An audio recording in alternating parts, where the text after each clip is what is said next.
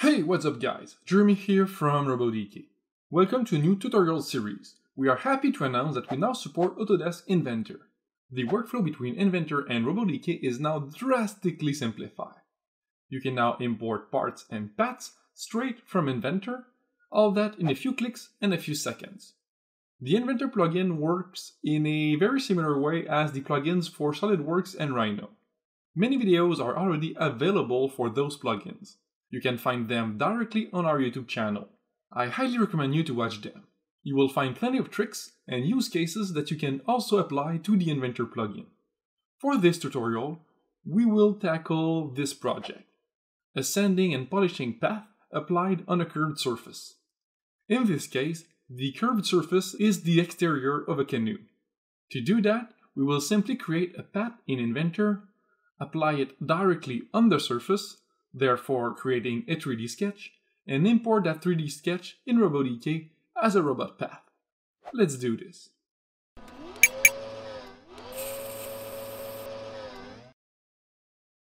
Okay, in our station we have a KUKA robot.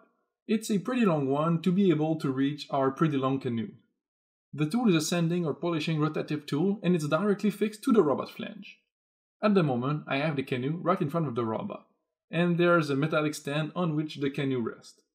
By now, if you have watched the other tutorial videos available on the YouTube channel, like the basic guide series for example, you already know that the part reference frame is where I will import my canoe.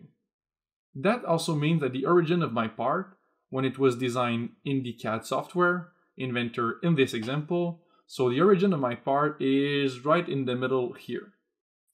I will show you really quick delete the canoe we have right now. You will see the incredible design of my metallic stand.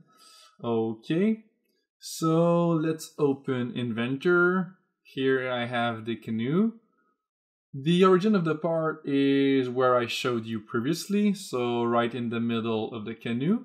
If the RoboDK plugin is installed and visible, you should see this tab here. If it's not the case, please refer yourself to the plugin installation documentation. In this tab, you will find seven options. For today, we will focus on the CAD section. The CAM section will be covered in a future tutorial. First, let's re-import the canoe.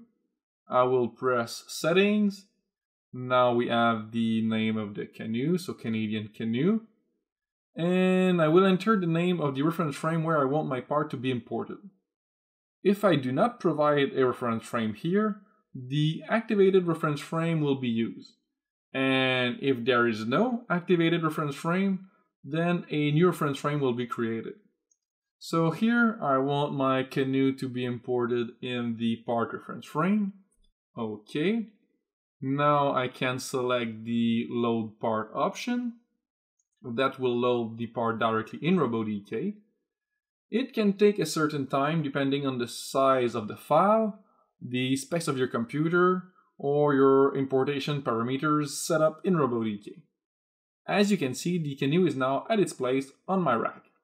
Now we need to import the polishing path. I have two choices here.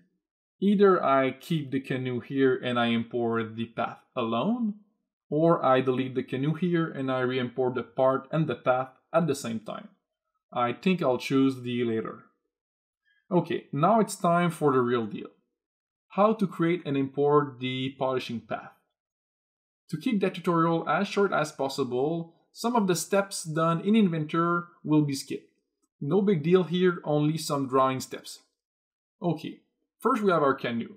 As you've seen in the intro of this video, my goal is to create some up and down movement to polish this first section of my part. To do that, I created a plane at a 45 degree angle. The goal is to draw my path on that flat plane, then use the curve projection tool to project the path on the curved surface. To save us some time, I already drew the path. Let's make it visible. Okay, as you can see, I'm covering all of the section I wish to polish. I can reopen that sketch and modify the path a bit. Okay, now it's pretty simple to project that path on the surface using the Inventor tool. I come here, project to 3D Sketch. Then I select the face I want the path to be projected on.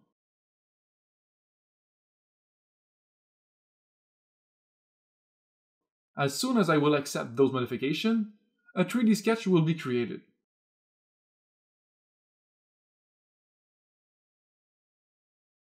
I can make sure that the construction lines are construction lines.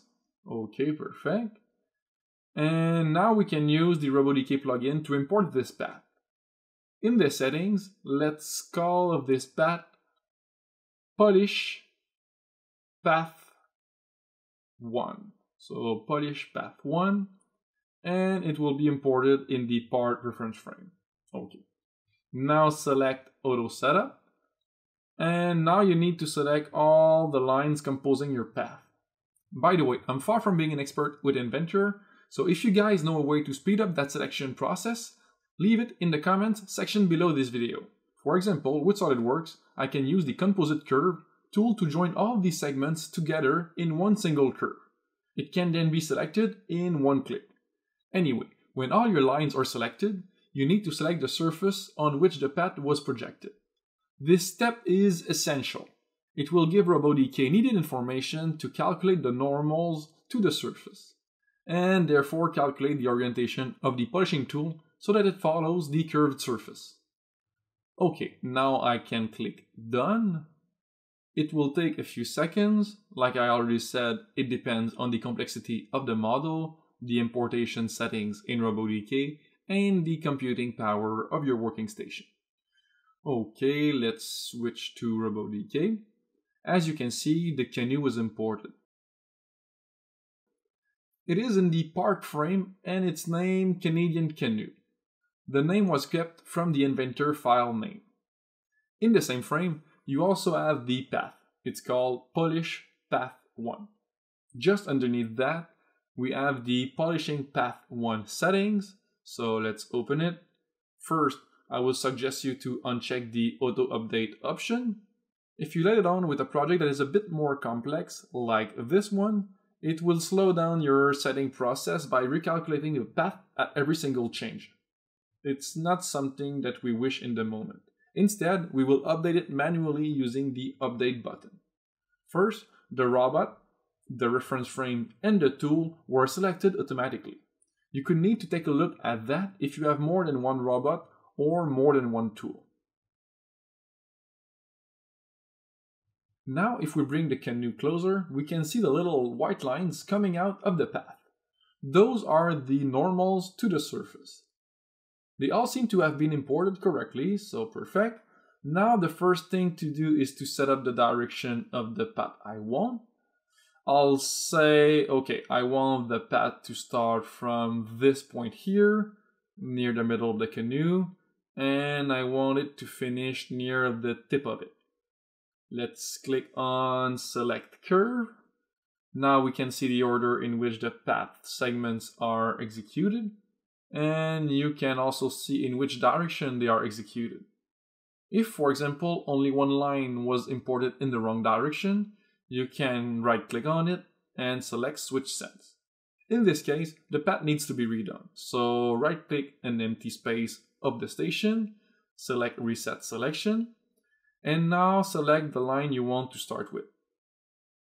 Make sure that it's pointing in the right direction, and then use the Auto Select All tool on the top left corner of your screen. Okay, now that looks great. I can now simulate my station for a first look. So update and simulate. This looked pretty good, I would say. Okay, we still have a bit of time, so I will show you a few things. First, the approach and retract section of the Curve Follow project. By default, you have an approach and retract of 100 millimeters normal to the path, exactly like you can see here. That means that the robot will come right down and start its path here.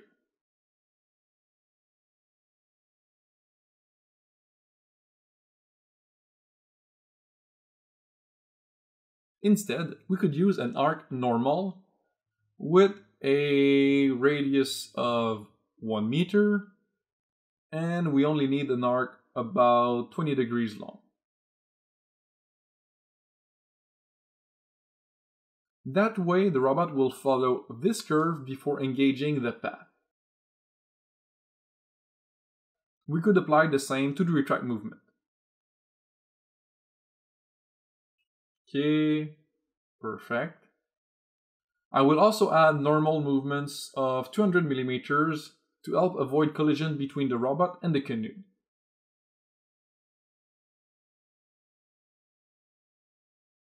Let's simulate that. Okay. If you think that the approach and retract speed is too fast, no problem, we can modify it. Select Program Events. By the way, this is also where you manage your output activation so let's say, for example, in this case, we need to activate the rotation of our polishing tool when the path start and stop it when the path finish. Okay, back to our approach and retract speed situation. Here you have the fast move speed option. Now it's a meter per second, so I believe we could drop that to 200 millimeters per second. That makes sense. Just beside that, we have another important option. Every single white lines along your path is a point that will be sent to your robot controller. By default, those will be sent as points where the robot needs to stop. In the polishing or sanding operation, it's not a behavior that we wish from the robot. Activating the rounding checkbox will activate the continuous movement option in your controller. Different robot brands will have different name for that option. It can be rounding, constant movement, zone data, depending if you're working with a UR, a KUKA, an ABB, etc. Okay, now we will enter a rounding value, let's say 0.5 millimeters. Let's close that. Okay.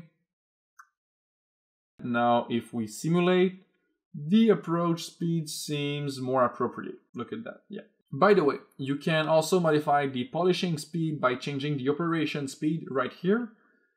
Okay, now that we have a good simulation, we need to transform that in a real robot program. In our case, we need to create an SRC file that can be read by a KRC controller. First, just below the polish path 1 settings, you have the polish program. If I double click it, it will launch the program we just created. Right click on it and choose select post processor. Most of the time, you are simply making sure that you are using the appropriate post processor depending on the robot controller you are using. Let's say that we use a KRC4 controller, so this one. Now right click on the program again and select Generate Robot Program. A text editor will appear with the SRC file you need to send to the robot. You have the header, and just below all the points you need to follow. Okay, that's pretty much everything for today's video. I hope it was helpful. If you think so, press the like button and subscribe to our YouTube channel. I'm constantly releasing new videos on different topics related to RoboDK. So if you have ideas for future videos, please leave them in the comment section below. I will look at that in the future. Also, if you have technical questions, visit our online forum. We will be more than happy to help you. Have a great day, guys.